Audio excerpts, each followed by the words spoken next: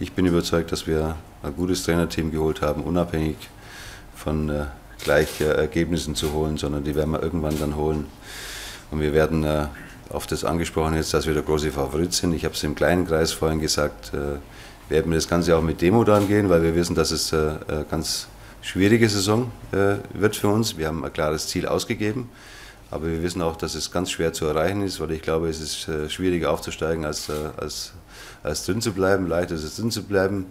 Ja, wir sind nicht drin geblieben mit 22 Punkten, sondern wir sind richtig abgestiegen. Und deshalb wissen wir bei unserem ganzen Ziel, dass es ein schwerer Weg wird, den wir jetzt gehen. Die Jungs freuen sich darauf, dass es jetzt endlich losgeht.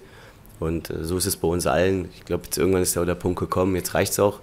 Ähm, jetzt haben wir genug Vorbereitung hinter uns und jetzt wollen wir auch Punkte holen. Aber wir haben schon den Anspruch, dominant zu sein und den Gegner ähm, in, in Spielsituationen zu bringen, wo wir, wo wir dann den Vorteil haben. Das ist schon, schon unser Anspruch.